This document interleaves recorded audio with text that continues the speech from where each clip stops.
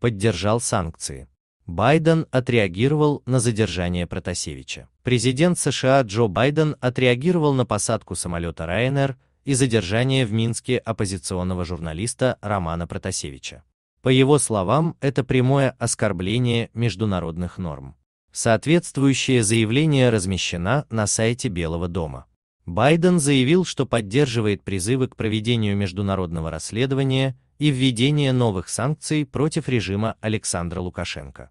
Принудительное перенаправление Беларусью коммерческого рейса Ryanair, летящего между двумя странами-членами Европейского Союза, а также последующая высылка и арест Романа Протасевича, белорусского журналиста, что выезжает за границу, является прямым нарушением международных норм, заявил он.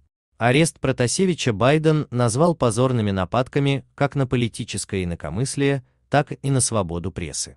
Я приветствую мужество и решительность белорусов, которые борются за основные права, в том числе журналистов, таких как Роман Протасевич, и лидеров оппозиции, таких как Светлана Тихановская и ее муж Сергей Тихановский. США будут и впредь поддерживать народ Белоруссии в его борьбе, сообщил Байден. Бывший главный редактор Нехта Роман Протасевич был задержан в Минске вчера, 23 мая. Самолет, на борту которого летел журналист, совершил экстренную посадку в аэропорту белорусской столицы якобы из-за угрозы взрыва.